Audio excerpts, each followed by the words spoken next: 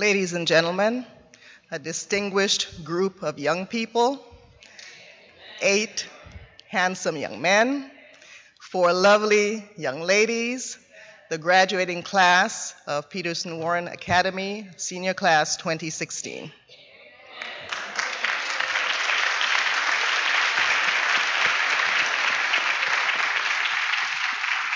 Please stand for the invocation.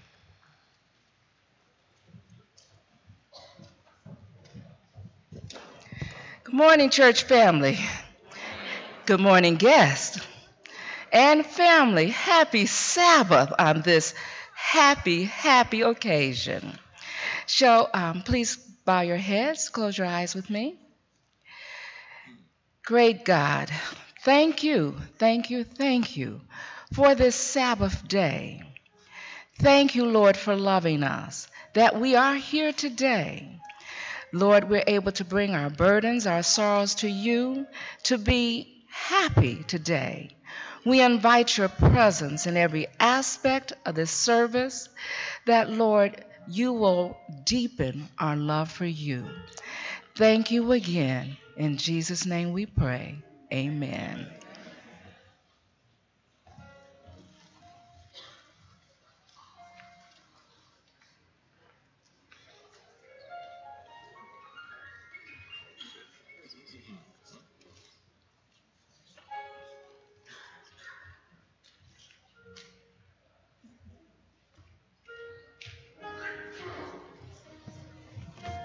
Morning, church. Our morning hymn is on page 522. My hope is built on nothing less.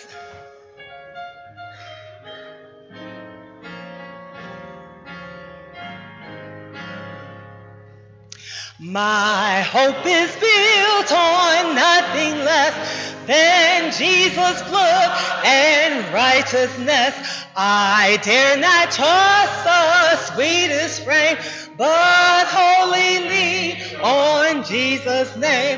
On Christ the solid rock I stand, all other ground is sinking sand. All other ground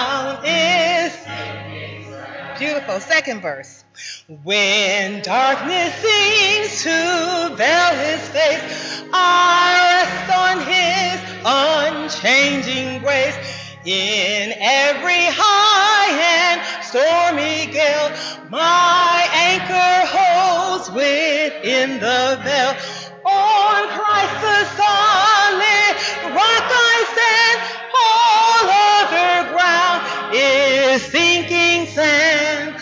All other ground is third verse with no music.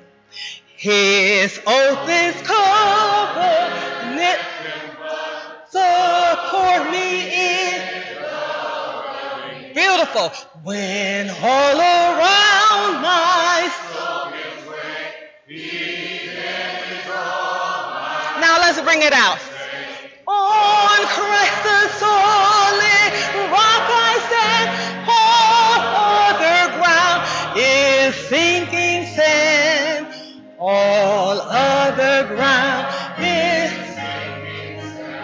fourth verse. When he shall come with trumpet sound, oh may I then be found clad in his righteousness.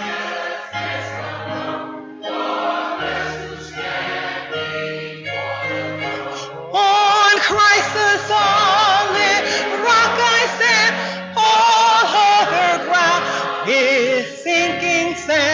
All Let's sing the chorus one more time, church. On Christ the solid rock I stand, all other ground is sinking all other ground is sinking sand. Amen.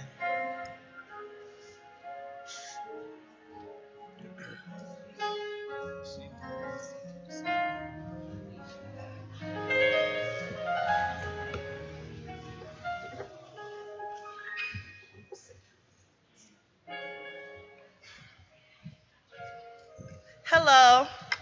Happy Sabbath.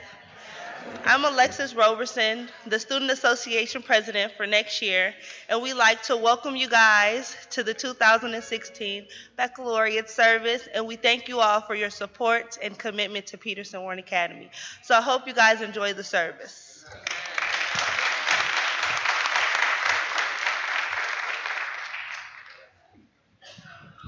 Morning, everyone. Let's try that one more time. Good morning, everybody. Happy Sabbath to you all. We're so happy to be with you today on behalf of our president and chair of the PWA board, Dr. R. Clifford Jones, our treasurer, Elder Yvonne Collins, our vice president, Elder Eddie Allen, all of the, all of the directors and staff, and the 31,000 plus members of the Lake Region Conference. We want to welcome you to the 2016 graduation of the PWA seniors.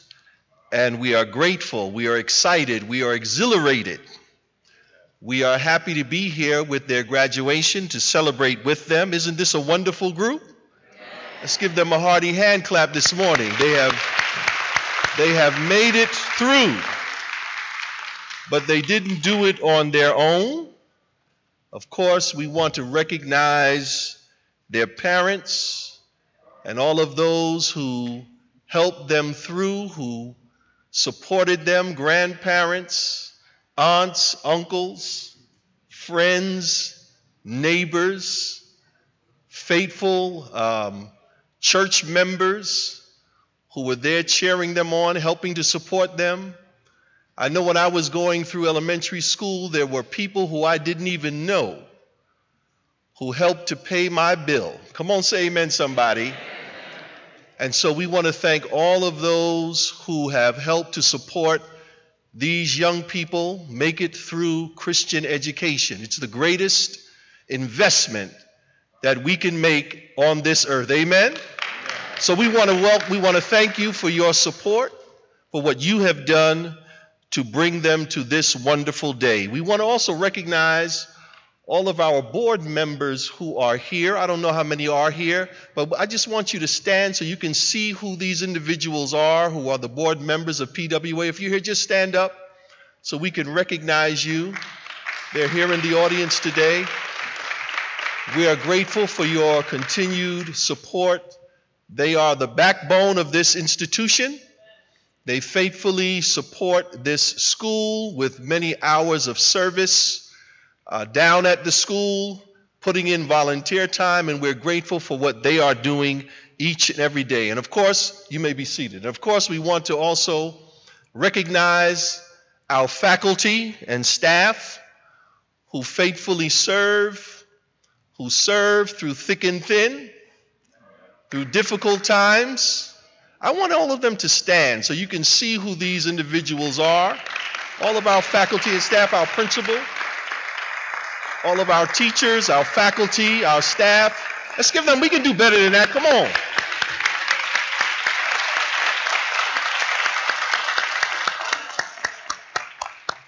We're grateful for their service to this institution. PWA is the only academy in our conference and so they hold a special place in this conference. And we have got to do some very extraordinary things for Christian education in this conference. That was a weak amen. But we've got some challenges ahead of us. And if we are going to save Christian education, we're going to have to do some extraordinary things in this conference to do it. And it's going to take all of us to make it happen. I was at a graduation last week at another institution. I will not mention the institution, I will just say it's in central Michigan. And I was talking to one of the graduates' parents, and I will just say that the graduates' parents said to me, Tell your parents do not send their children to this school. Keep them at PWA. Come on, say amen, somebody. Let me say that one more time. Keep them at PWA. Let me say that a third time. Keep them at PWA. You know, I don't know what it is. Sometimes we think that someone with a lighter hue somehow somehow the ice is colder when it comes from them than when it comes from us. Sometimes somehow the sugar is sweeter. Yeah, that's right. Turn up the volume now. We have to do some work on our brains. But the best education that our young people can gain is an education when they see a teacher in front of them who looks like them. Someone who understands them, who can pour into them and build not only them, them, educationally and academically and spiritually, but also can build their esteem and reinforce who they are and let them know that they are someone important, that they are created in God's image and they can accomplish whatever God has told them they can accomplish and be whoever God has told them they can be and be the best at whatever God has told them they can be the best at. So don't let anybody tell you anything different. Your children need to be at Peterson Warren Academy. Come on, say amen, somebody. So let the word go out from here. That's the message that we are sent, and this is proof positive of that today. Uh, we and we expect nothing but the best from our institutions. We are second best at nothing. And we will continue to strive for that excellence as a conference and in our educational institutions because we are not only preparing young people for, for time, but for eternity. We are grateful to be here today at this wonderful occasion to celebrate with these young people. I was reading that the word baccalaureate, it's the religious service, but I also read that it's also an examination intended to qualify successful candidates for higher education. We're not going to give you a test today, but it is a test, a test for all of us to see whether or not we are prepared to support our young people on the next ladder of their lives because we're always learning. So may we learn to use this experience as one that teaches us that we are not ending the journey, but we are continuing the journey of their education and their preparation, not only for this life, but for the life to come. May God bless you.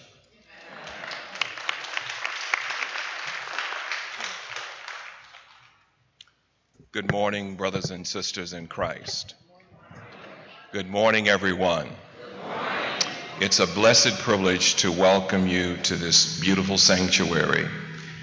The City Temple Seventh day Adventist Church has an awesome responsibility. As a significant congregation in this city, we are deeply invested, both spiritually, emotionally, and financially in the well being of our young adults, our young people at Peterson Warren Academy. To acknowledge our support, which is historic and ongoing, we invite those who are members of our church board to stand as a show of their support for their commitment to the furtherance and the existence of Peterson Warren Academy. All of our church board members, would you stand? Thank you.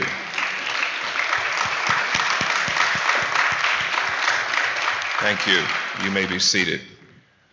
We are blessed with an extensive representation of our church members who are committed to this education emphasis, this pinnacle of what we invest in year after year. These are the smiling faces, these are the joys that we look to see. And every year that we are able to graduate another class, it is meaningful to us, not only as brothers and sisters in Christ and family members, but also as church leaders here at City Temple. And I'm sure that what I share, I share on behalf of all of the pastors and the congregations of this city. This church is involved in many things, and we think it's important for you to know what is transpiring, and it's also important for us to keep our membership abreast of what is transpiring in the upcoming week. So, Clark, if you would put on the screen the announcements as they are available. We want you to focus on the screen now. We will go through several announcements very quickly. Ministry with the Purpose. These are the announcements for the City Temple Seventh day Adventist Church, June the 4th. Our place is a place you can call home. You should call home. Our theme is God has a special place for you and your family at City Temple. This week, June the 8th, we will have a special showing of the movie Forks Over Knives. It was shown at the theaters, and we're showing it as we move to a very special Sabbath, which is uh, next Sabbath, June the 11th. And before we get to next Sabbath, of course, we have the board meeting reminding all of our board members this coming Thursday evening at 7 p.m. And then we have a church family meeting June the 12th at 11 or 12 p.m. But for Detroit's health is our initiative for the city. In fact, recently in Detroit's major newspaper, a report was given that stated that Detroit, as a metropolitan area, had some of the poorest health numbers in the nation. As a result of that, we are having a health and wellness event here at City Temple next week. Dr. Terry Mason, who was one of the featured guests and, and uh, principal speakers on the movie Forks Over Knives, who is also the COO, Chief Operating Officer of Cook County in Chicago, will be our special, our featured guest for the day. In addition, Dr. Paul Musson from Flint, Michigan will be with us, along with Lake Region's own Health and Wellness Director, Dr. Christina Wells. So be sure and put that on your, your calendar. Let's not forget camp meeting June 17 through 25. And launching in July here at City Temple, we'll be preaching through the book of Revelation July to December. We have the first sermon that's going to be uh, presented deals with the history of conflict and courage in the book of Daniel, July the 2nd. Then on July 9, City Temple will celebrate its homecoming weekend. I didn't even need to put a name under that face. We all know who that is. Who is that, everybody? Elder Henry Wright. He's going to be with us July the 9th. And we are bringing back to you something that is extremely popular here and uh, this actually is misdated. That should be June the 11th. But my friend here and uh, colleague and elder here at City Temple is going to share with us exactly why we're bringing back our Sabbath evenings or Saturday night events at the Y. So tell us about that. Next Saturday night at the YMCA in Royal Oak, that's two blocks east of Woodward on 11 Mile. We're having a family rec night. And at that time, we're going to be doing swimming from 10 to 11:30. We're going to be having our fitness center from 9:30 to 10:30, and we're also going to have what we call Zumba. And that's going to be from 10:30 to 11:30. We're inviting not only our church family, but any church family that wants to come and recreate with us. It's going to be an exciting time, and we want you to come and have a good time in the name of Jesus. Amen. Let me close with this, and that is you've asked for it, and we're bringing it back. But there's another reason, there's a passion I have, because so many of our young people are. Are unemployed during the summer months, and we recognize that one of the easiest, easiest employment opportunities is a lifeguard. If our young people would learn how to swim, and learn how to be effective and achieve that lifeguard certification, they could actually find a job very easily. And I'm speaking about those who are in high school. Just a quick question, just to see a show of hands. How many of you do not know how to swim? Raise your hand. Don't be ashamed. Okay? Adults, children, doesn't matter. How many of you don't know how to swim? All right. I want you to know that we're investing in you and we're going to provide free swimming lessons for you. We want you to be there. Come, put your hands together on that one. All right? We're we're excited about providing this for our young people so that they will have employment opportunities and a basic skill that always equips them to not only be employable, but also have an opportunity at having fun. Let's not forget, God has a special place for you and your family at City Temple.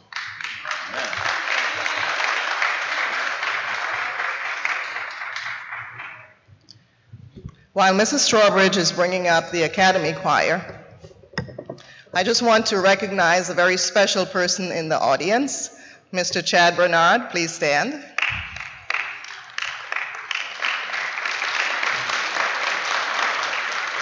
Chad flew in yesterday from California. He will be our comm- commencement speaker tomorrow. Uh, I worked with Chad at Oakwood Academy 12 years ago, an awesome teacher. Now he's principal at Weimar Academy in California. So thank you for coming, Chad.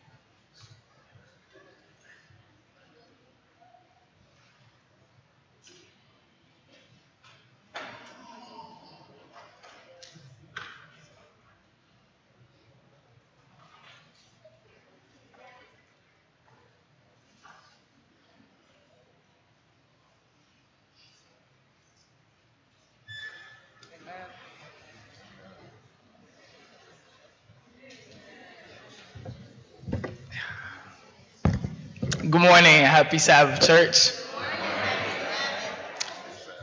Uh, today I will be doing the scripture. Uh, if you could stand and turn your Bibles to Proverbs 30, verse 24 through 28. And please stand.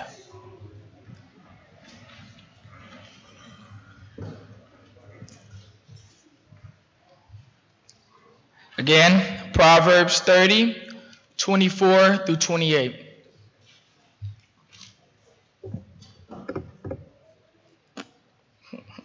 Okay.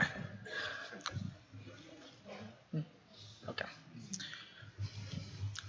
There are four things which are little on the earth, but they are exceedingly wise. The ants are a people not strong, yet they prepare their food in the summer. The rock badgers are a feedable folk, yet they make their homes in the crags. The locusts have no king, yet they are yet they all advance in ranks. The spider skillfully grabs with its hands, and it is in kings' palaces. May the Lord add a blessing to the reading, hearing, and doing to his word. Thank you. Amen. Thank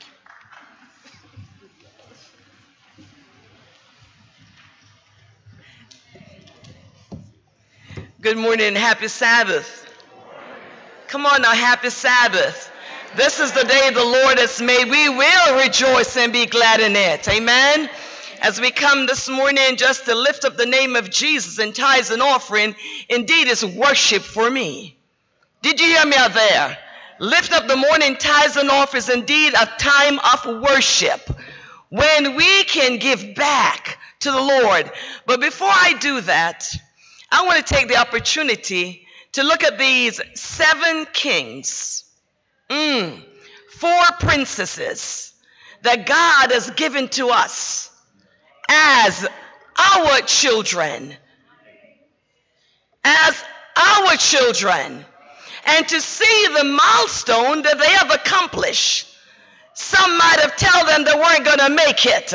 But Dr. Jesus said they were going to make it. And because of that, in spite of we see that we did not see what we want to see, but look at the beautiful design that God has entrusted to their parents. Come on now, say worship the Lord this morning. As amen, amen. As I think about Elijah and the widow. Elijah was sent by God when the brook had dried up. And Elijah went to the widow through the obedience of God and met her collecting sticks. Elijah said to her, I need what? A drink.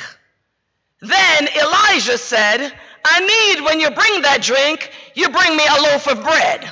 What am I going there? The lady said, In the name of Jesus, all I have is a little for my son and I. Then we're going to die. What am I saying this morning? Our brook might think that it might dried up. But Dr. Jesus said, I am the supplier. I am the giver. You are only here for a moment. I am the great I am. So this morning, as we collect the morning tithes and offering, you might say, My brook is only a little. But my daddy said, Your brook is full this morning. So as we come together this morning to share with you and giving this morning, I want you to recognize your brook is not dry up. Your book is full and overflow. I went to the doctor yesterday morning and the doctor did not give me good news. I sat in the car and I clinged to my Bible and I said, Daddy, you make this body. I'm only a steward of this body. In the name of Jesus, I am whole. I am healed. And my money's not going to the doctor. Did you hear me out there? So it doesn't matter what the doctor say. Your brook is not dry up. Will the deacons come this morning?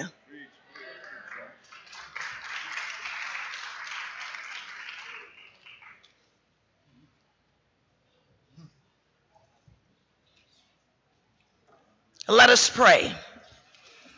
Father, the great I am, the rose of Sharon, the lily of the valley, the bright and morning star. This morning, someone is saying, I have such little, I have to pay my bills. I have such little, I have to do what I need to do. But you said in your word this morning that my people is lack of knowledge. But then you go back and said, You are the great provider. Oh God, this morning, touch the minds and the hands of your people as they give this morning good measure, pressed down, shaken, running over, all what you can do. Bless right now in the name of Jesus. I pray, Amen.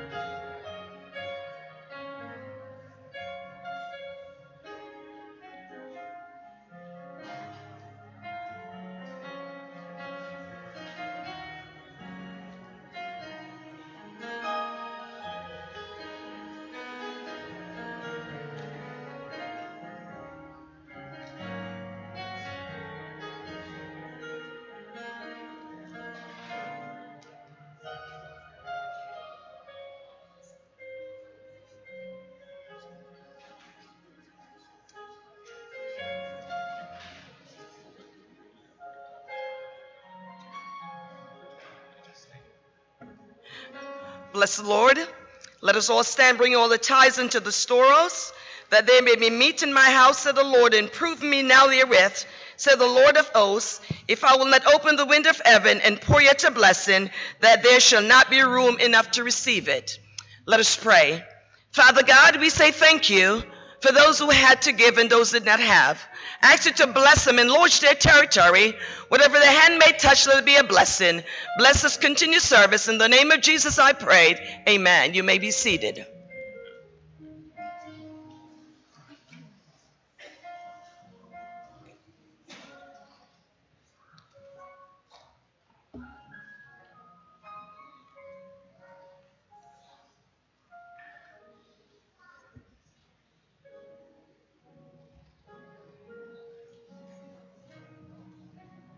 Was, um, guess I was off the grid this weekend, and I received a. So I was checking my text this morning. I received a text informing me that Muhammad Ali died, known as the greatest.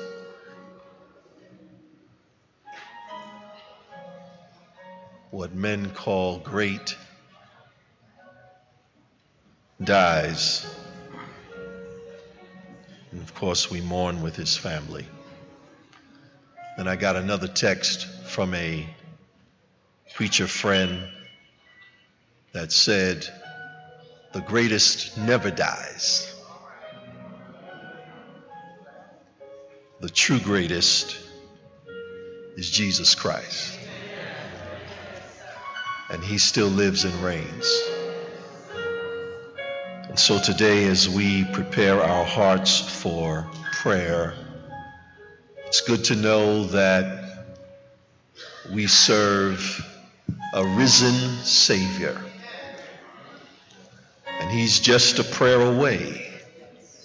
So today, if you have some concern, some burden, some problem, some need, or maybe you have a praise report and you want to, through the overwhelming joy that you feel, want to praise God for His goodness.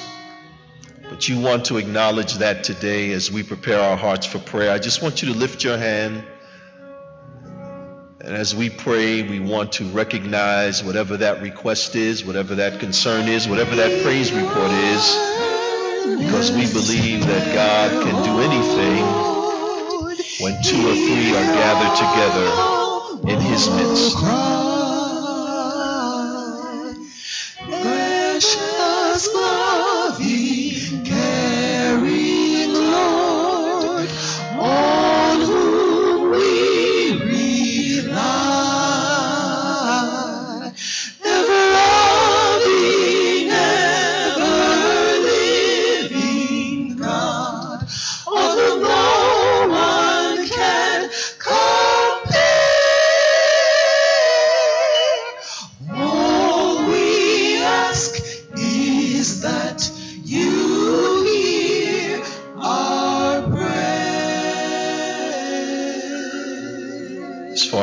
Possible, invite you to kneel as we pray together.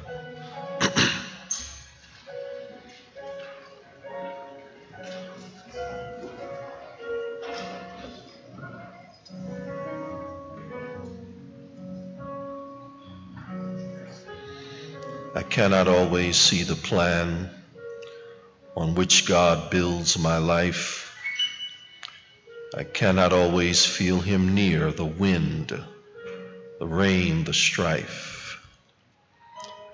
His blessings seem so distant as I cry out on my knees until His word reminds me that my trials with His will agrees.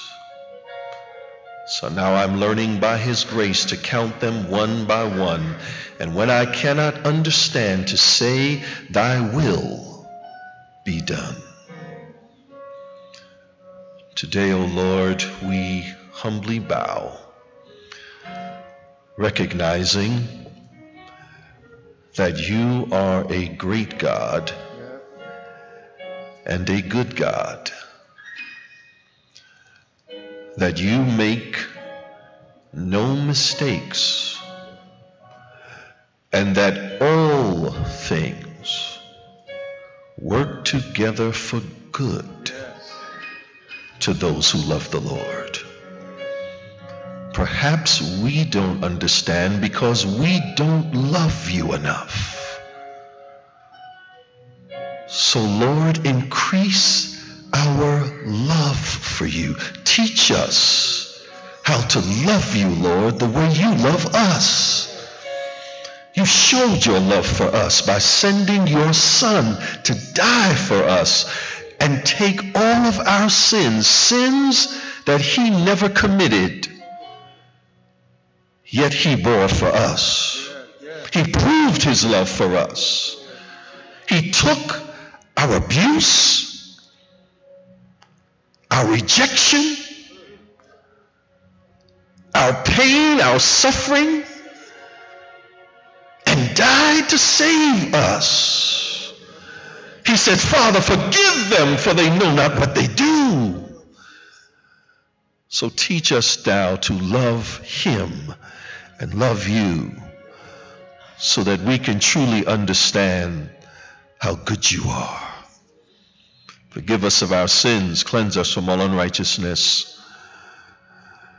We come today, Lord, with lifted hands. Our faces are different, and so are our needs. And so today, Lord, we pray that you will minister to our needs. You know what they are. Some of us don't even know what we need, but you know what we need. So minister to our needs. Some need a healing. Some have gotten and received a report that they did not expect. But you knew of the report before they received it. So we pray that you will minister to that need, minister to them mentally and spiritually, and bring a healing balm to them right now because you are able to do whatever you choose to do. Some have financial needs. Some have relationship needs. Some think their relationship is broken beyond repair, but there is nothing too hard for God. There's some who have difficulties on their jobs, a mean boss, a difficult circumstance, challenges that are challenging their relationship with you and their commitment to you. May they be faithful to you no matter what the case may be. There's some today who are praising God as they look at their child, their grandchild, graduating today. They didn't think they would make it, but God, you brought them through, and they are thanking and praising you today. We are grateful that you are so good. And we celebrate today with these graduates and these families because we know had it not been for God on our side, where would we be?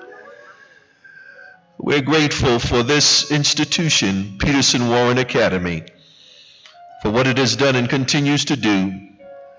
We're grateful for each faculty and staff, for the principal and all of those who are faithfully serving, serving sometimes with no thanks, amid criticism and trials, but still serving.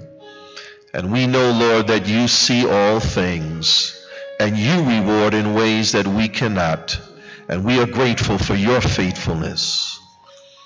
And so, Lord, today as we celebrate and worship, we invite you to take full control of this service.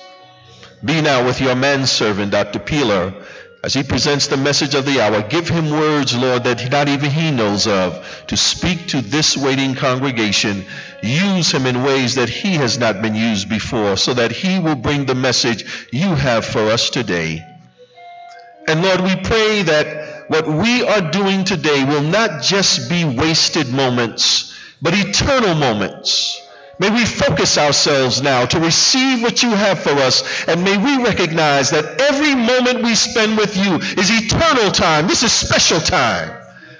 May we give ourselves to you now to receive what you have for us and recognize that when we are in your presence, it is the most important time in the universe. God has decided to spend time with us. So, Lord, have your way now. Speak to us. Use your manservant and use those who are in worship and leading worship so that we will leave this place changed, transformed, revived, and renewed. And we will leave this place praising your name because our hearts burned within us as you walked with us by the way. Bless us, we pray, to this end, for we ask all of these favors in Jesus' name. Amen. Amen.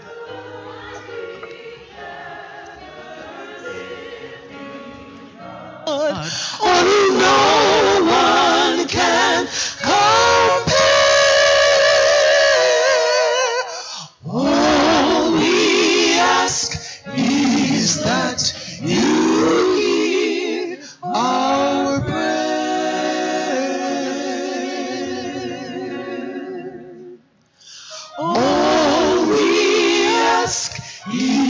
that you prayer.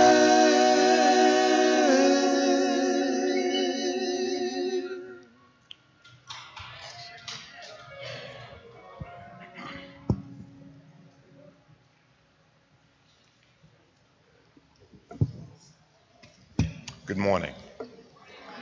It is certainly an honor and a privilege for me to have the opportunity to introduce our speaker today uh, and uh, reintroduce him to some of us. I know that he uh, has been a colleague of our own secretary, Dr. Tim Nixon, and also your pastor, Pastor Sam Thomas, very good friends of theirs. But I deem it a privilege because uh, our speaker today, Dr. Peeler, was born and reared in Sacramento, California. The Lord placed my family there in the Sacramento area about 30 plus years ago. And uh, I first heard him speak, preach, uh, some 30 plus years ago, and he blessed my soul immensely. I knew there was something special about him. He's married to Brenda, has uh, three adult, young adult children, one grandson, Jeremiah Emil. He had put his name in there. And um, he uh, is in transition at this moment. He's leaving Sacramento to be the pastor of the Capitol Hill Church in Washington, D.C. So he's a busy person. I could tell you that he's an author, he's a songwriter, a great musician, and I believe that's what brought us together over the years. Um, I, I want to tell you so much about him, but I can tell you this that Satan is not happy with him or his family.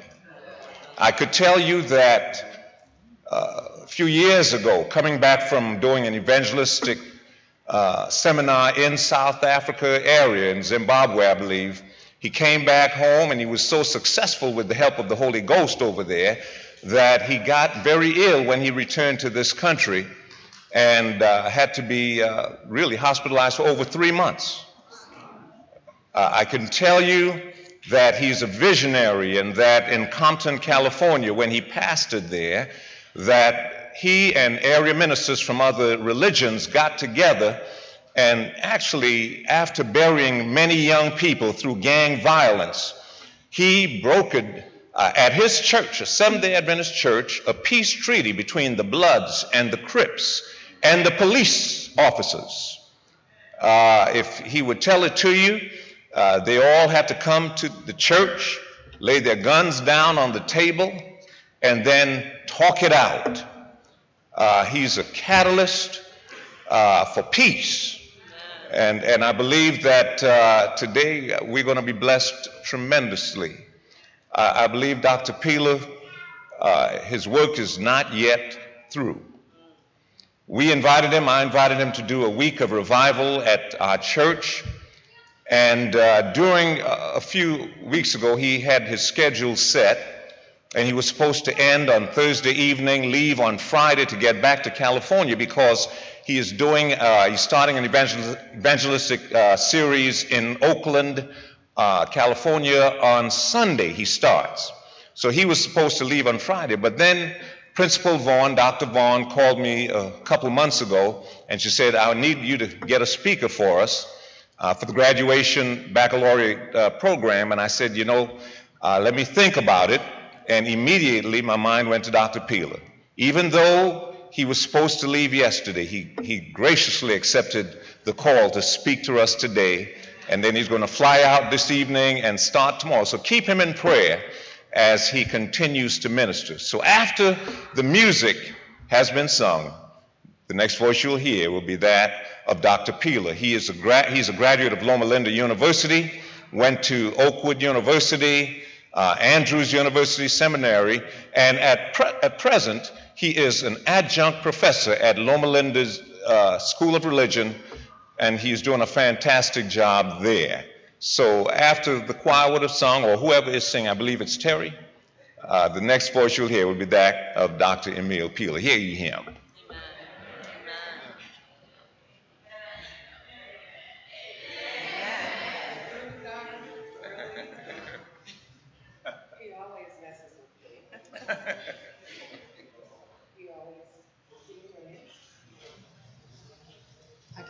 Hello?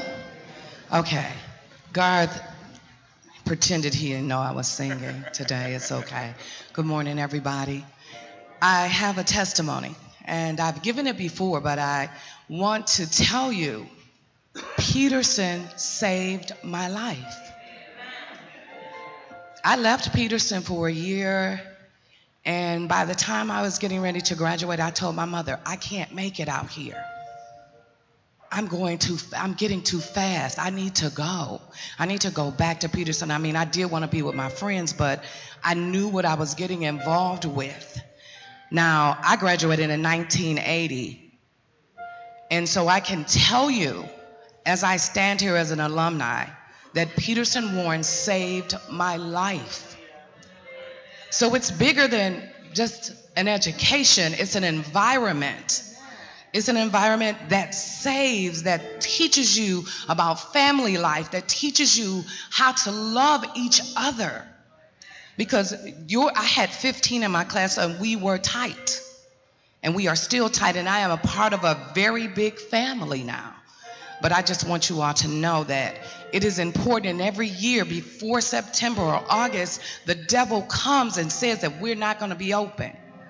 But we need to start praying now, fasting now, making sure that those numbers get up there and they grow. And whenever you go to anybody's church, you need to tell them about Peterson. You need to tell them whether it's a first day, second, third, you need to tell them about Peterson because it saves lives. Amen. I'm ready. Praise God.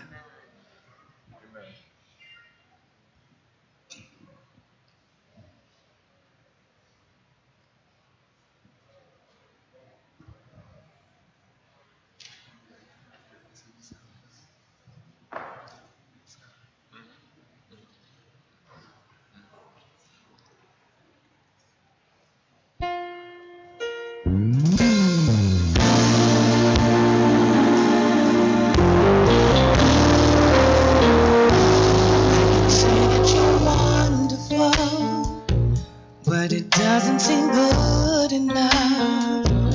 I can say that you're kind, but that would miss the mark. I can say that you're beautiful, but to me you are so much more.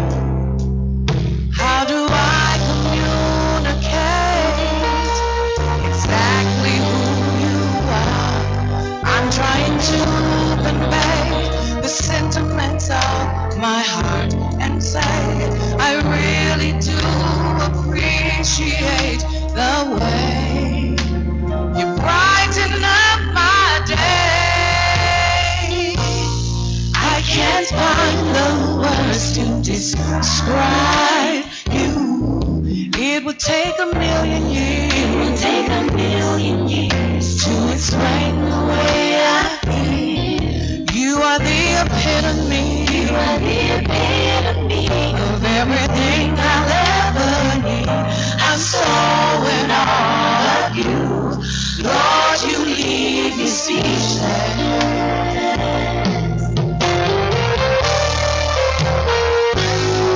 Now, if I had more time, I would go down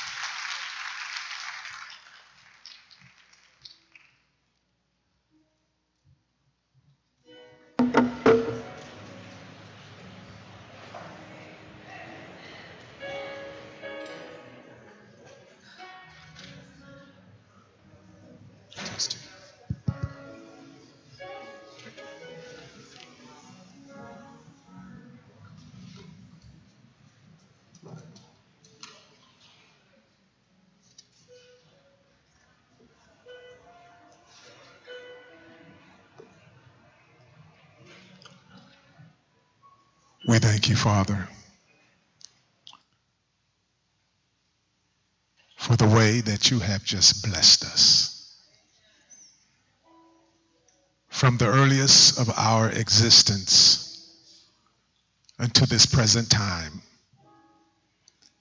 all you have ever been has been good.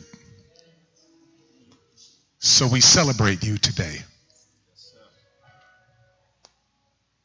You are, you are an awesome God.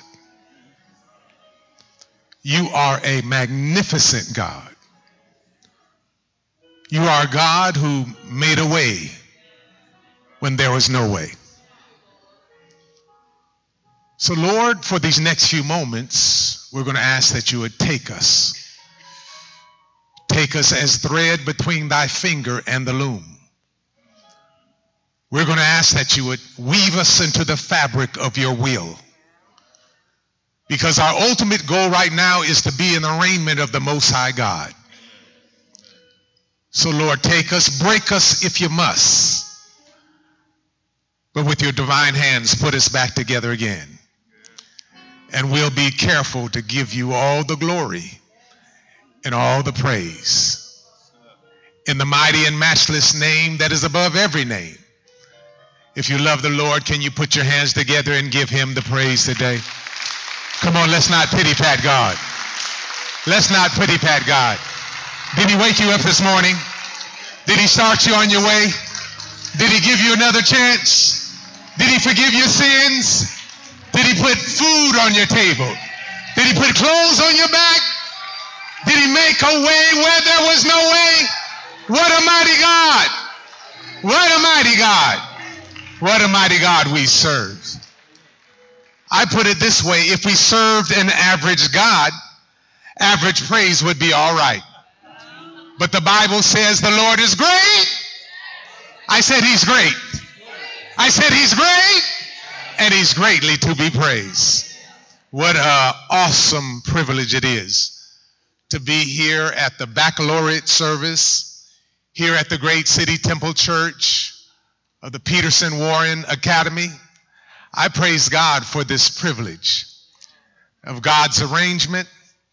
I praise God for the great pastor, the senior bishop of this church, Pastor Samuel Thomas Jr. I praise God for him and his leadership and for the future of this congregation. I am honored to be in your presence and for your friendship over many years.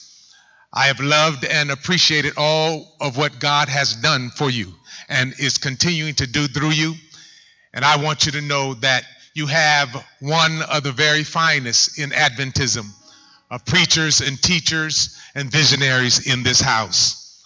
I thank God uh, for the principal, Dr. Vaughn. I thank God for your leadership and for what God is doing through you in this academy. And I just want you to know that I believe that the best is yet to come. I praise God for the one who has introduced me today, my host for this week, my very great friend. I thank God for you, Pastor Gabriel, and for your leadership and for the vision that God has poured into you and for the many years that you have served this community. I praise God for you and for many of the things that God has done and is continuing to do with you. And so, to the distinguished, distinguished guests on the platform, Dr. Nixon, and all of the faculty and all of the staff and all of the members of this great congregation, the family of friends uh, of these fine graduates, and to the graduates themselves, I just praise God for you and for what God is about to do to just increase the, the, the very significant bodies that He has placed on this earth so that you can glorify His name. If you would just do me a favor and just celebrate once again this great graduating class of 2016. Come on, we could do better than that. You guys look good. You guys look good. Y'all look good and I praise God for you. Are you ready for the word? Somebody shout out, I'm ready for the word. Because I've said for over 30 years, if it's not in the word, it doesn't deserve to be heard. But if it's in the book, we're going to take a look. It ain't going to be what Peeler said, but what Peeler read. Yeah, I'm a poet. Y'all didn't even know it. Come on and say amen out there. Amen, amen, amen. Everybody lift up your word of God. Lift up the word of God. Just shake it a little bit. Come on. Shake it a little bit because we're getting ready to do battle with the enemy. Battle with the enemy. Come on, repeat after me. Say, devil. devil. Come on, you act like hell has been air conditioned. Come on. Say, devil, devil. you have no business in this place. This is God's house. We are God's people. And this is God's word. So I'm armed and dangerous. So, devil, get out of here. Devil, get out of here. Devil, get out of here. Because the Holy Ghost is in the house. If you feel him, shout amen. Amen, amen, amen. Proverbs, the 30th chapter, it has been read, but repetition deepens the impression. As I was walking through the scriptural neighborhood the other day, I stopped and I paused at something that I feel will be relevant to not only the graduates, but for the people of God this day. Proverbs, the 30th chapter, and we're going to begin at verse 24. There be four things which are little, which are little, which are little upon the earth but they are exceeding wise, exceeding wise, exceeding wise. The ants are a people not strong, yet they prepare their meat in the summer. The rock badger, Ocones, are but a feeble folk, yet make their houses in the rocks, in the rocks, in the rocks. The locusts or rock badgers have no king, yet go they forth all of them by bands. The spider taketh hold with her hands and is in kings' palaces. For the next few moments, the Lord has given me a word, and the word is entitled this It's time to sweat the small stuff. Turn to your neighbor and say, Neighbor, it's time to sweat the small stuff. Amen. Amen.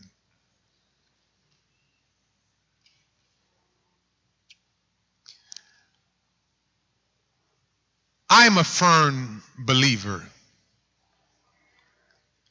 that God has called you graduates and those of us who are seated here today to greatness.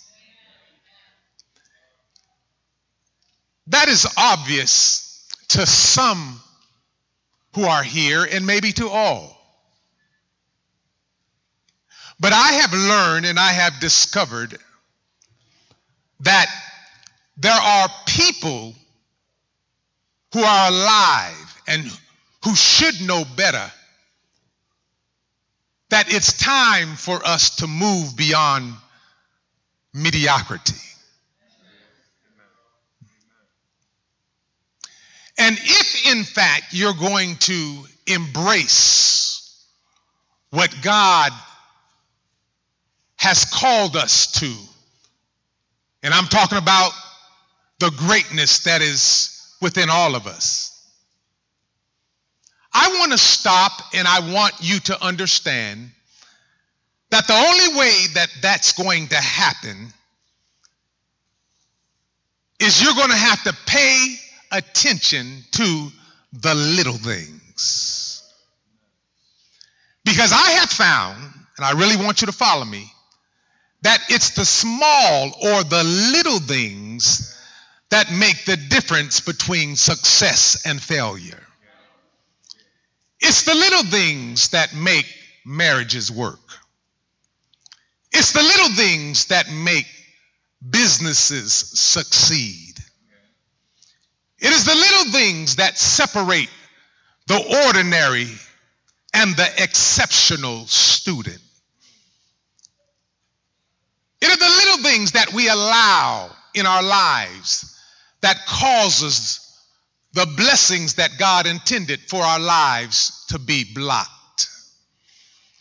It is the little choices that we make that cause our futures to be stymied.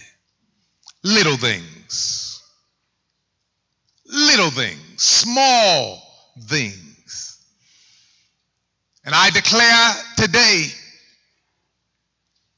that that when you embrace that concept that we are to be detailed in even the smallest things in our lives, we literally will begin to advance from where we are to where God has called us to be. Solomon labeled one of the wisest men who ever lived.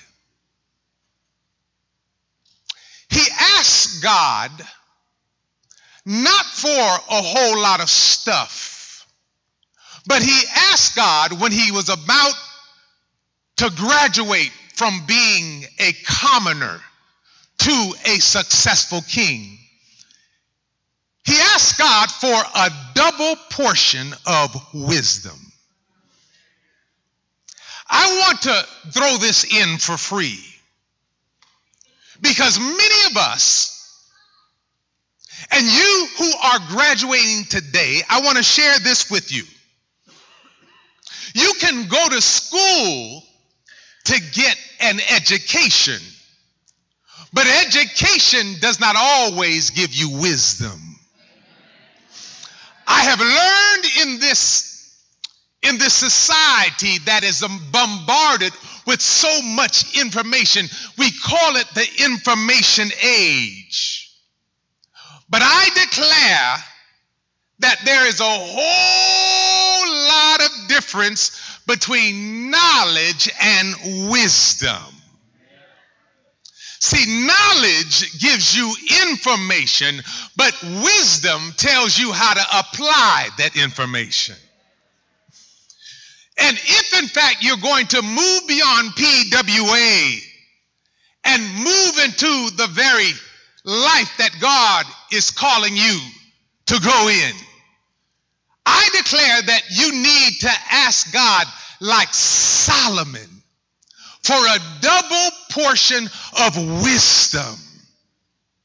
You need to ask God for wisdom And I declare that you need to ask for it really, really quickly before you leave the commencement service tomorrow. Or you can end up an educated fool. Because I learned that you can be bright academically and not have a bit of sense. Somebody ought to say amen out there. Mhm.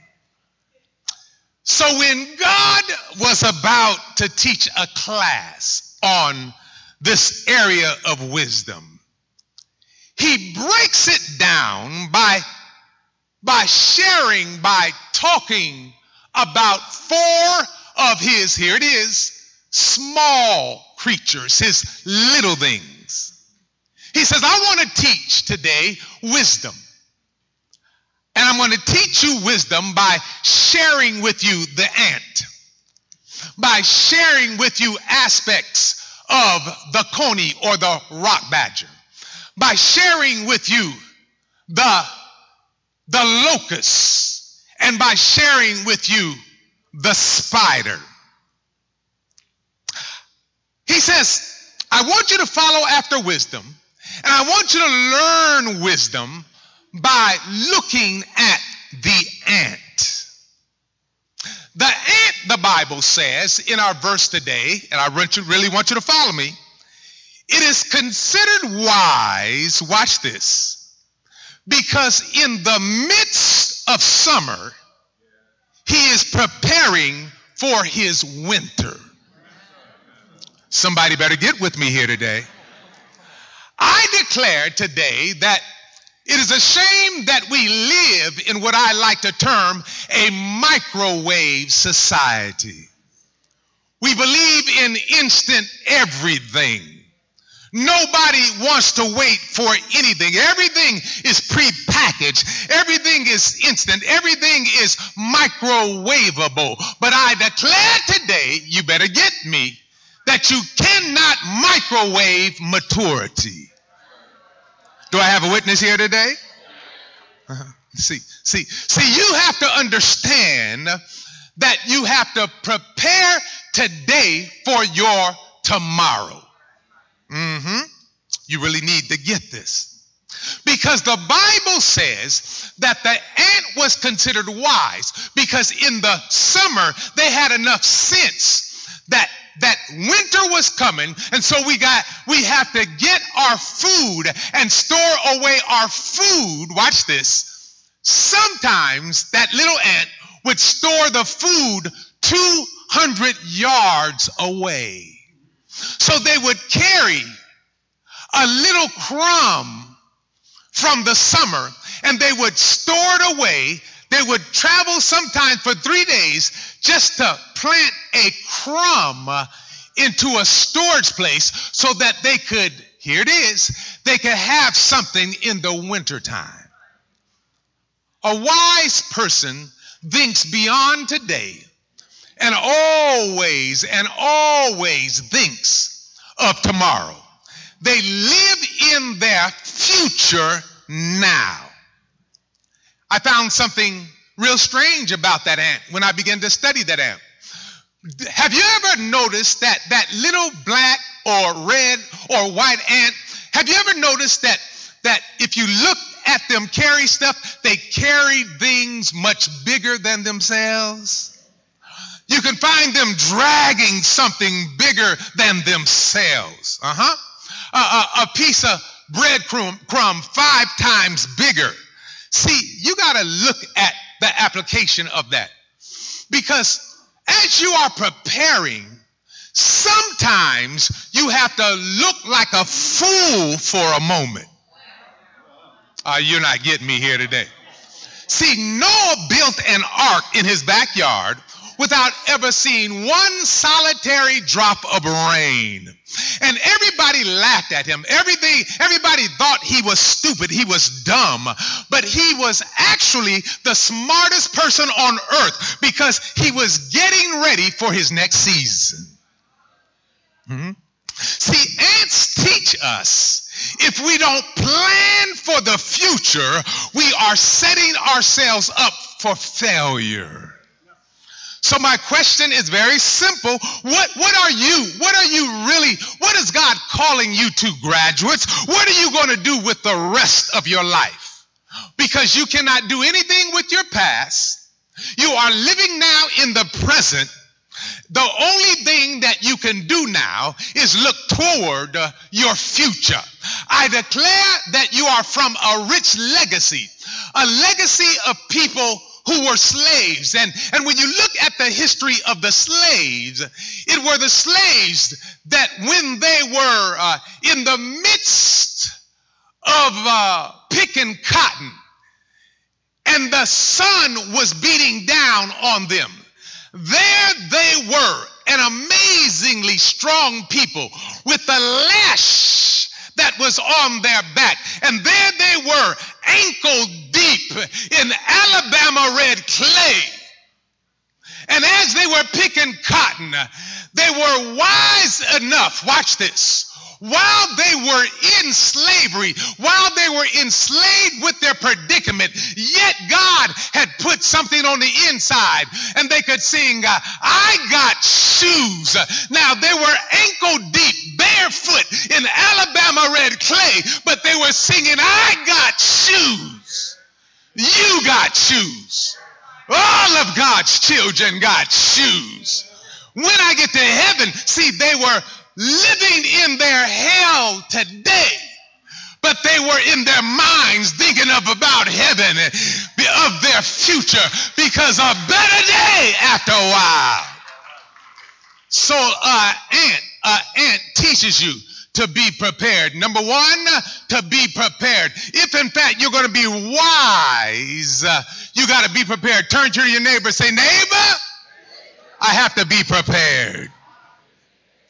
He says, but also you need to look and study the rock badger. Now, the rock badger, or the coney in the King James, uh, it teaches us, watch this, to stay close to your sense of protection. Now, when I did my research, I, I found out that rock badgers, they cannot run as fast as the rabbit, or they can they could not dig like a mole, but they were smart and they were successful because they knew and they practiced the principle of protection. See, you got to get this. The rock badgers, if you study them, they lived the majority of their lives within the cracks or the cleft or the crags of the rocks. Uh, you didn't get that, all right? Uh, they, they, they live their, they live their life uh, literally wedged between a rock and a hard place. Uh-huh. They, they live their lives within the cracks, the crags, the cleft of the rocks. And they live their lives because they did not want any of the predators to get to them. See, no matter how awesome and how beautiful, how handsome, how smart you think you are, and I know many of you are some awesome creatures, awesome people made from the hand of God, no matter how awesome you think you are, all of us need God. I wish I had a witness here today. Uh, uh, uh, uh I don't care what kind of degree that you have today or you will get in the future. I don't care about your title or your position. Don't get big headed because I don't care what you have. There's going to be situations in your life that you will not going to be able to handle all by yourself. Uh, you're going to need a hand from God. We all need the protection from God. Uh-huh. Why? Because all of us have our weaknesses, all of us have our vulnerabilities, all of us have our blind spots. Mm-hmm. The rock badger lived 80%, I discovered, ah, of their lives close to the rock. And then the other 20% of the time, if they ventured away, because they were very careful. They're very careful. They always look to the right or to the left. If they eased out watch this. If they eased out, if they eased out uh, beyond that rock, they would they would rarely go beyond 20 yards. In other words, they stayed close to the rock. Then I learned something else that if they went beyond that 20 yards, watch this, they, they had somebody, another rock badger, to, to watch their back. Oh, you didn't get that. Huh? See, see, you need to understand that in this life, uh, you need people in your life that are not afraid and ashamed of the gospel of Jesus Christ. You need some prayer partners. Uh, you need some prayer warriors. Uh, you need some people in your life that that that are are so close to you and so close to God and so invested in your future, especially spiritually. Ah, that they will have your back. Uh, you just added five minutes to the message uh, because you got a confused look on your face. Uh, so I got to tell this illustration. Uh huh. See, if you look like you look, uh, me being a professor, I, I, always look to see if they got it. They don't got it yet. Five more minutes. All right, five more minutes. Uh, uh, my brother, my brother, uh, uh my best friend, Baron, uh, he's a great guy. I, I went to college at 16 years old. I was there at La Sierra University, and I, I I got there like some of you are going to get there in the fall, wherever you're going to be going. And I got there, and you know, 16 years old, almost 17, I, I, I thought I was grown. Somebody shout out grown. Uh, but I didn't have a pot nor window. Come on and say amen out there. Oh, y'all, y'all don't know what I'm talking about here today. Young people, you don't know what I, the young people going, what? But you old folks know exactly what I'm talking about. But there I was, there I was, there I was, there I was, uh, there I was, um, and, and, me and my boys, my boys, I was not a theology major. I was a history, political science major. I was the first uh, black political intern for the office of Governor Jerry Brown, who is still the governor. He was in his first two terms as a young governor back in the 70s, and now he is doing his last uh, of his two terms uh, in California now. But I had him uh, way back in the 70s, and uh, uh, I, I said I was going to be a lawyer, and I was going to move beyond that that and matriculate it back into to, to, to politics and be a public servant. But God had different. But I entered into, I entered into, and I, I, I got with my boys, and as boys do, you know, I, I began to pick up a few a few habits, uh, and and one of the habits that I picked up was um, uh, uh, uh cursing. Oh, I'm the only one who ever cursed in the house. Some of y'all cursed on the way here. Come on and say amen. Somebody say, keep it real, keep it real. Oh, yeah, yeah, yeah, yeah. Uh, yeah, I, I picked up curse. Now, I never cursed in front of old people or, or my teachers or, or even the, the ladies, you know. But the bottom line, uh, I, I, within my boys, you know, we just kind of, you know, felt the freedom. And, we, and, and I guess I started getting bad because my, my brother, my best friend, he, he called me into his room. He says, man, he says, what's wrong with you, boy? I said, well, what do you mean? What's wrong with me? He said, what's, what's wrong with you? Uh, he said, man, you sounding ridiculous. Man, I walked by your room and you and your boys, you guys are off the cheesy. You guys are off the chain. He goes, man, you, you, you, you cussing here, and you cussing there. You sound awful. He goes, all of us make mistakes. Nobody's perfect, but you taking it to another level. Uh, I said, what the blank you talking about? Go on and fill in the blank for me. Uh.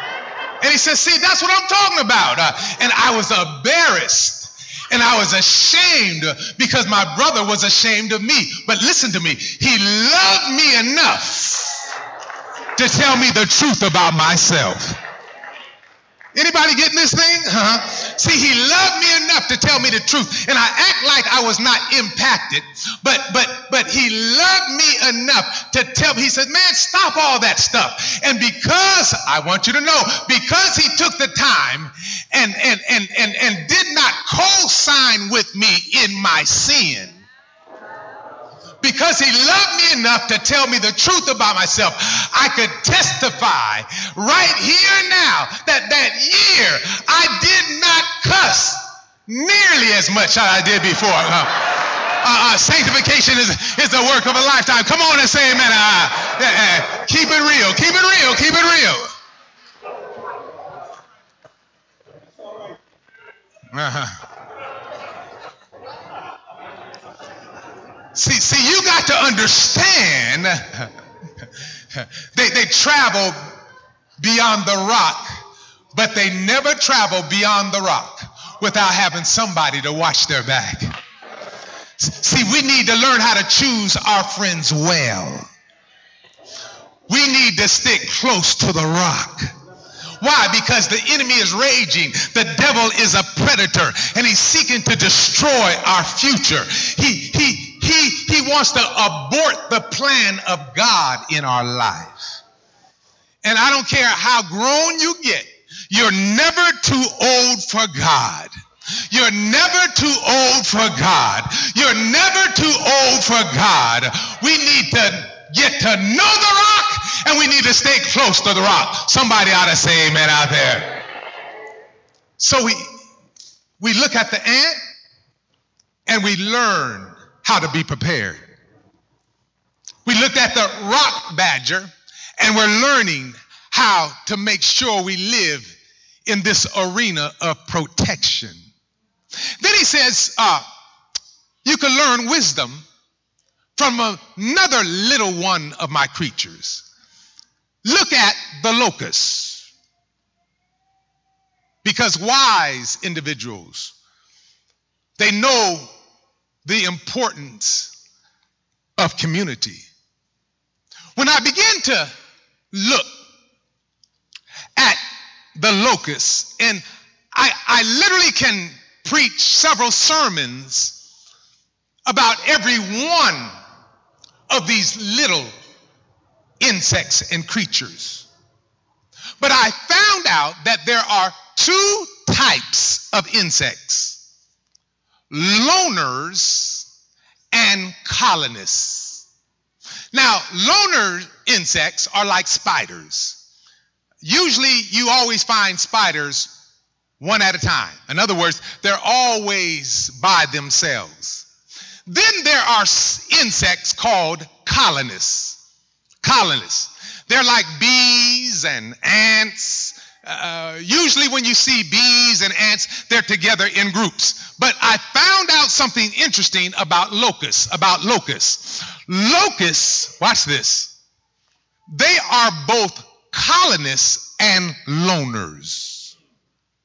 In the good times, they are sluggish loners. But in the bad times, watch this, they are colonists. Mm-hmm. In other words, they get together actively and begin to swarm in packs when they feel threatened. And when they get together, watch this, they literally have a force that is greater than the force of a volcano or hurricane. In other words, when they get together as locusts, watch this, you cannot stop a locust that is swarming together with other locusts. Why are they wise? Well, watch this. In difficult times, they never travel alone. Listen, graduates, you cannot be a lone ranger and be all of what God intends for you to be. Remember, you did not get there by yourself. And when you get there, you ought to always bring somebody else with you. Why? Because my mama taught me long time ago God only blesses you so you could be a blessing to somebody else. Uh-huh. Now, now, now I looked at this because the locusts there are they they are awesome. Because when I looked at that text, it says that they they go and venture into places. Watch this. They venture into places where there is no establishment of organization or there is no established leaders. I declare that God has called each one of you awesome graduates with a plan and a blueprint for your life. You are not ordinary, but you are specially designed from the mind and the hand of God. I believe that God is calling you to be a benefit to this generation and beyond. And it's a new season. It's a new thing that God's trying to do. So he's placed within you new concepts, new ideas, a new power, a new love, a new attitude, and new success. In other words, uh, I want you to embrace all of what God has done for you thus far and will do for you in the future.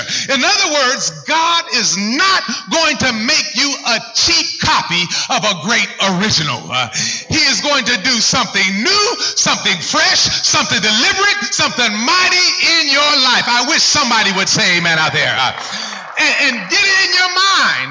You don't have to copy anybody else. I don't have to be like you, and you don't have to be like me. See, I might be flying next to you.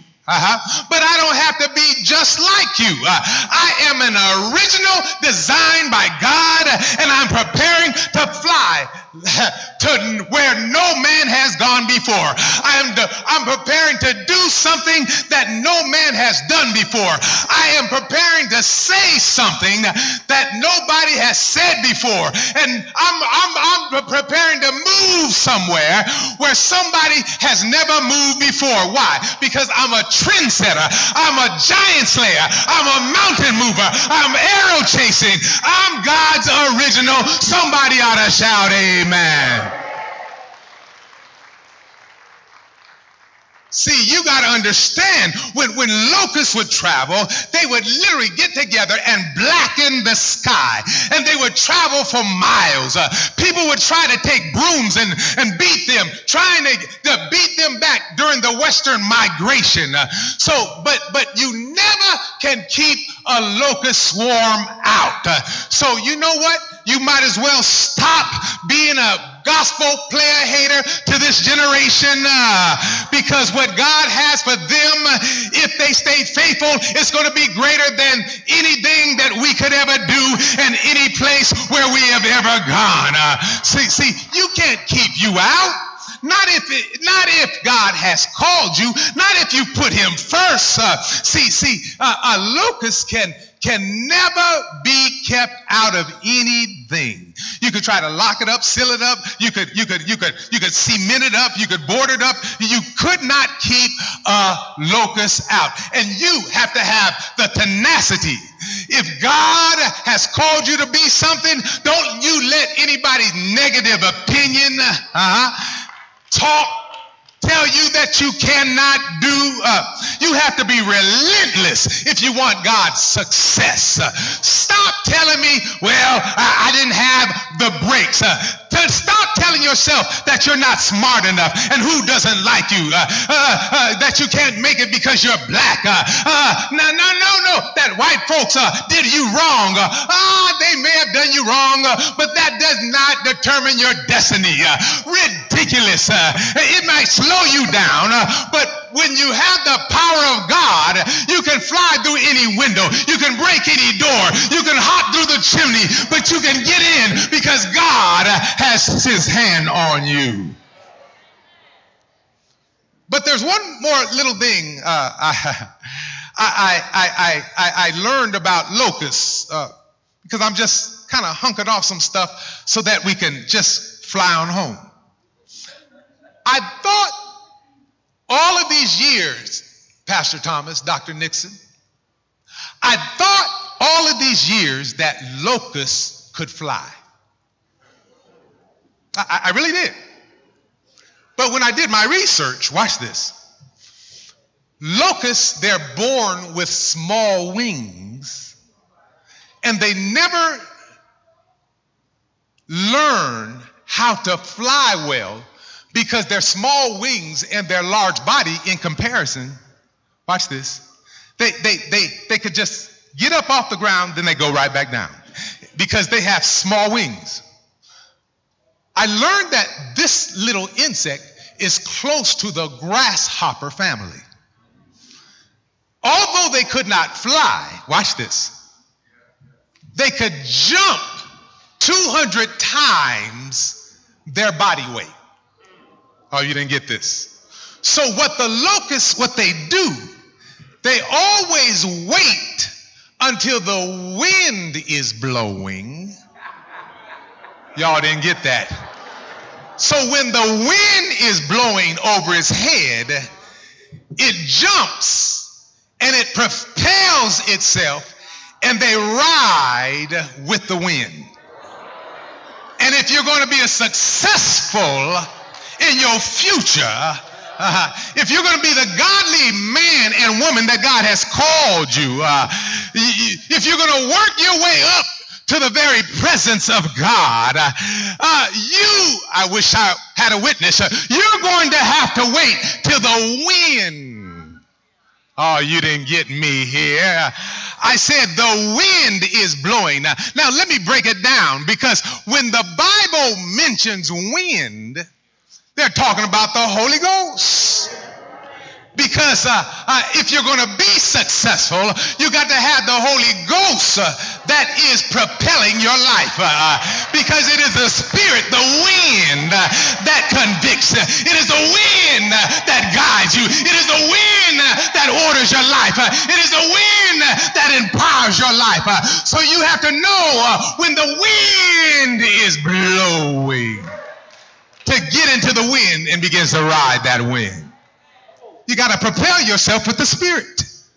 So when you have the Holy Ghost, you don't have to be intimidated. You can climb the highest mountain. Uh, you can swim the deepest ocean. Uh, you can see the invisible. You can do the impossible. Uh, and, God has not given you a spirit of fear, but of love and power and of sound mind. So you got to leap out of debt. You got to leap out of a toxic relationship. You got to leap out of a negative attitude. You got to leap out of fear and worry and abuse and leap into all of what God has. Somebody ought to say amen out there. Somebody shout out, the wind is blowing. See, see, because when the wind is blowing, uh, uh, uh, it's not about, watch this, uh, where you're from, but where you're going.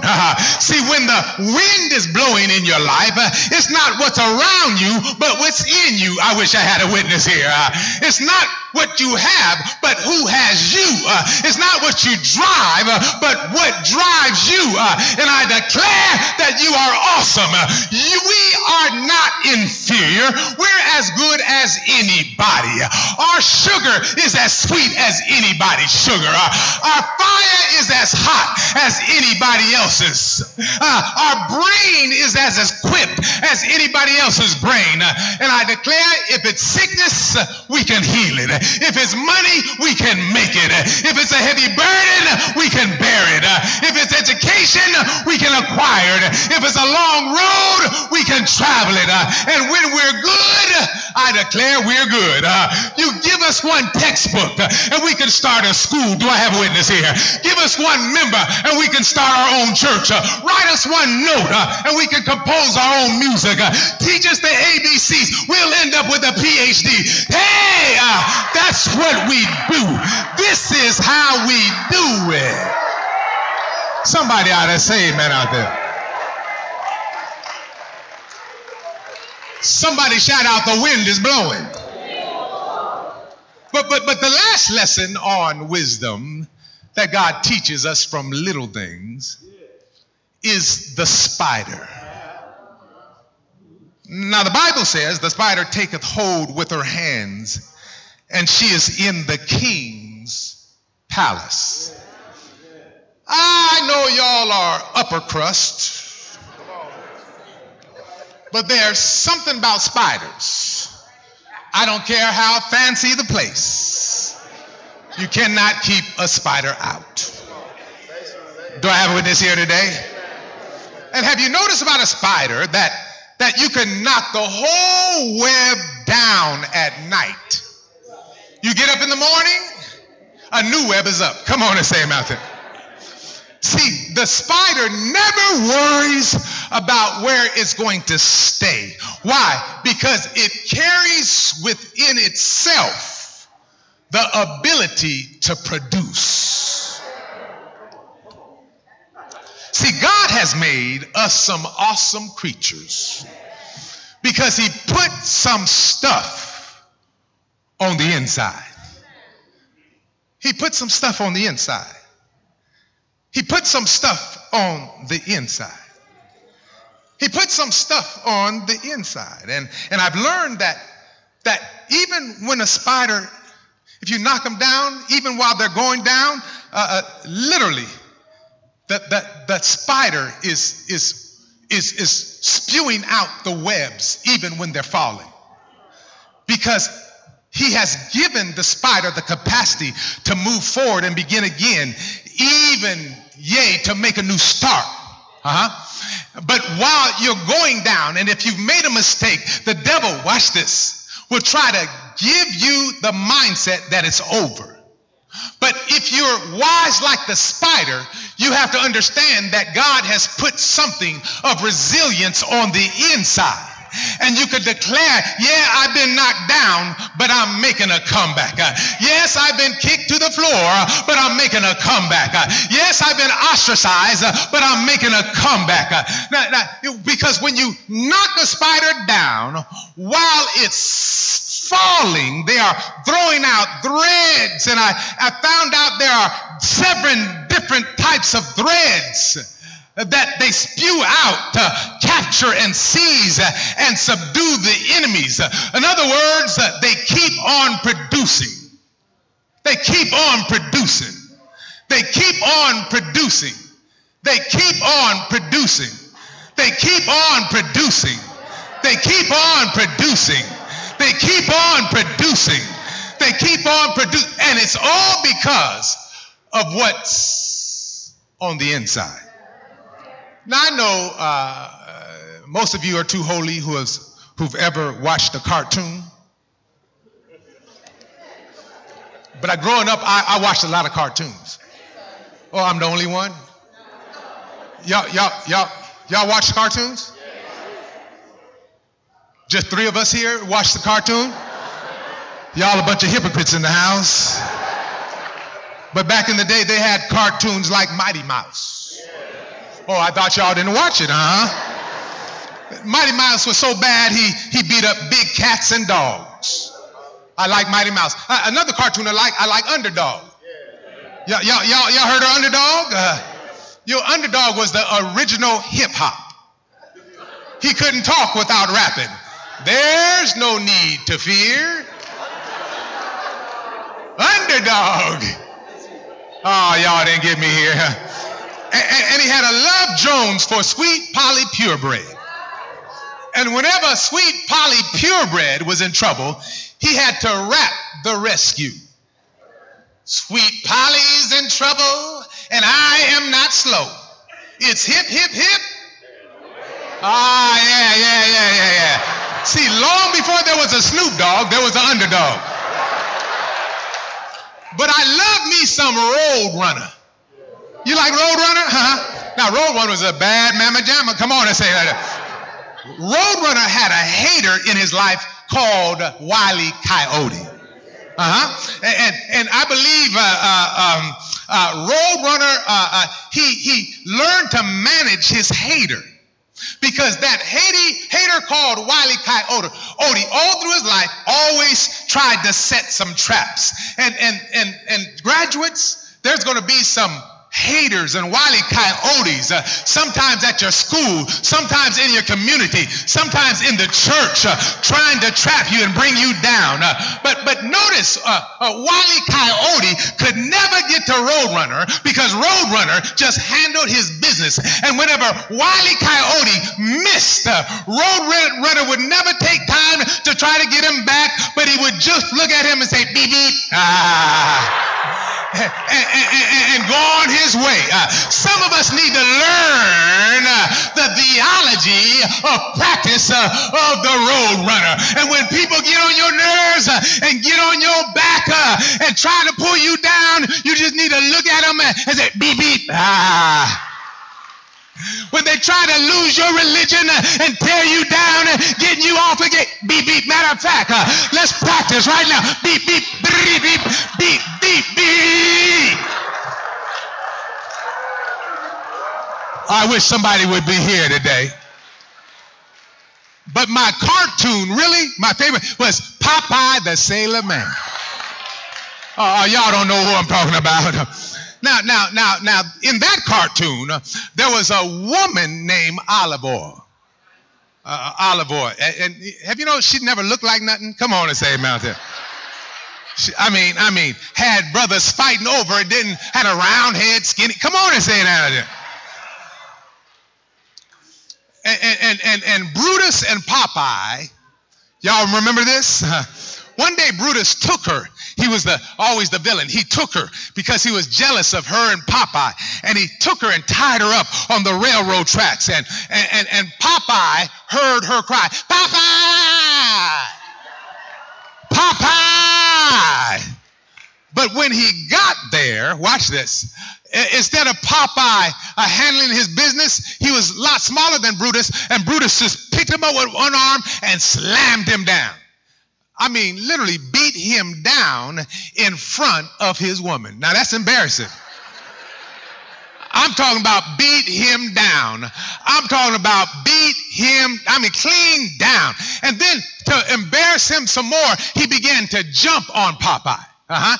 I mean, slapped him around. Uh, I mean, gave him all kind of bruises. Uh, uh, but that was his mistake uh, uh, when he began to jump on Popeye. Uh, now, he had Popeye until he began to jump on him. He didn't recognize that all that jumping would squeeze out of Popeye something that he already had on the inside uh, that would give him power and gain strength. Uh, so Brutus is jumping, uh, but while he's jumping, the spinach can pop out uh, of the inside of Popeye, and then Popeye grabbed the can and squeezed the can at the bottom. And then Popeye, watch this, uh, as he squeezed the can, spinach went into the air and went from the can down into his mouth.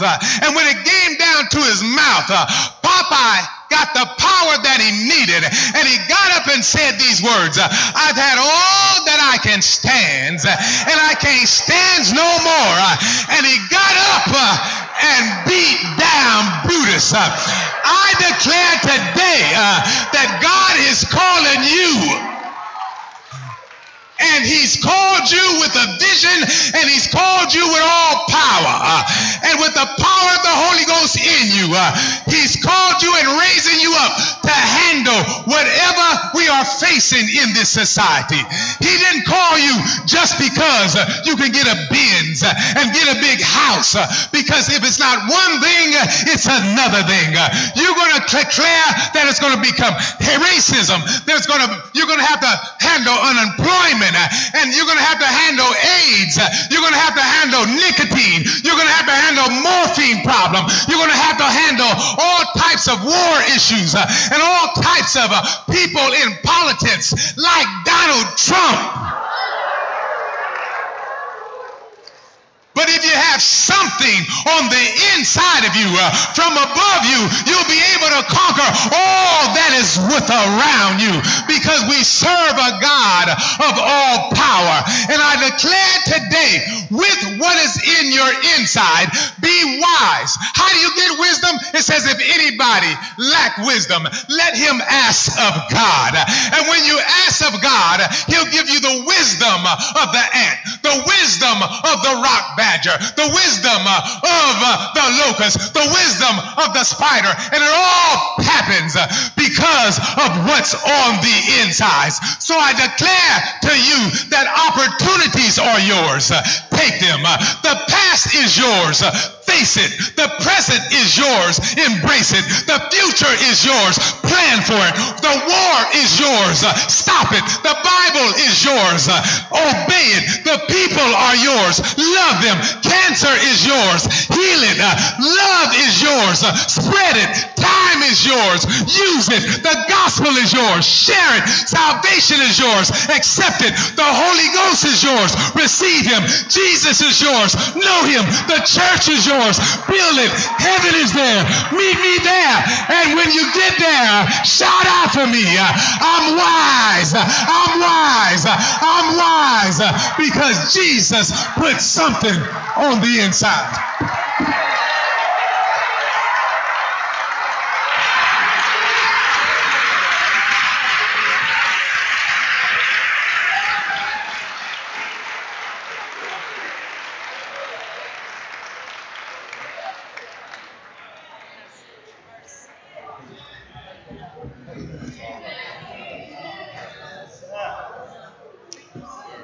Graduates, you've heard a very timely message from Dr. Peeler.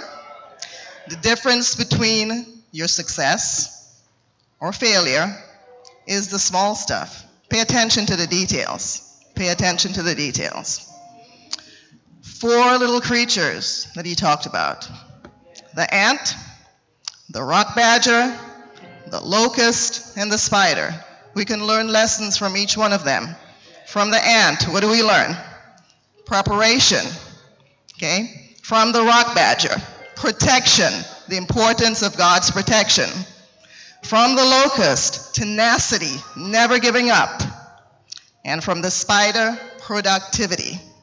So take these jewels, okay? Take these jewels, not for tomorrow, there's a different message for tomorrow. Take it today. Begin applying these life lessons today to your lives, and you will be successful. You will be successful. I'd like to recognize a very special group, the new senior class of 2016 17. Please stand.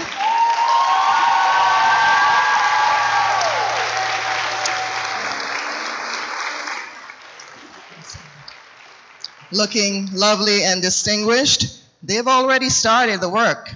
They have already started there. They're busy, they've started fundraising, and I'm very proud of these young people. So keep it up.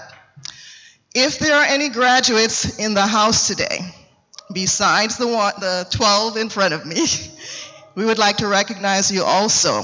If you're an eighth grade first, if you're an eighth grade graduate from Peterson Warren Academy and you're here today, please stand so we can recognize you.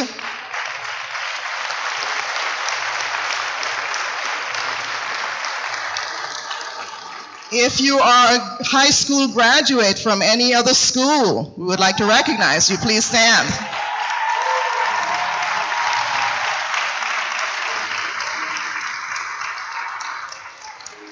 If you're a college graduate this year, please stand.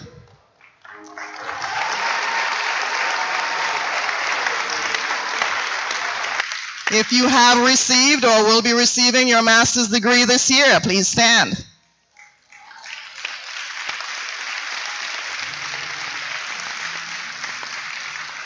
If you're receiving your doctorate degree or have received it, please stand. Wonderful. I would like to thank Dr. Peeler for that wonderful message. Amen. Timely and awesome. Timely and awesome. I'd like to also recognize our guests from the conference. We have Dr. Nixon, Executive Secretary from the conference. Mrs. Yvonne Collins, our Treasurer. Thank you for gracing us with your presence. Thank you, Pastor Thomas, for allowing us to use your church and being so gracious. Pastor Gabriel, for sharing your week of prayer speaker with us. Mr. Barnes, PWA alumnus and uncle to one of our graduates. And Mrs. Gray, my right hand man. thank you. So, thank you so much. And also, most importantly, parents. Parents, supporters, board members, home and school leaders, thank you, thank you, thank you.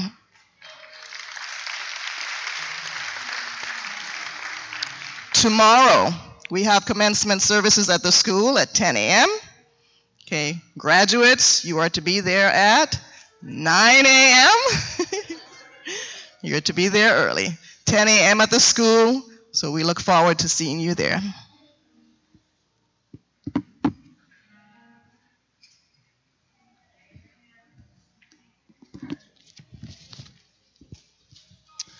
Let us look toward heaven to be dismissed. Our Father and our God, we thank you so much for what our eyes have seen, what our ears have heard, and what our hearts have felt today. Lord, I just pray for these graduates Help them to know that this is just one milestone on our march toward eternity.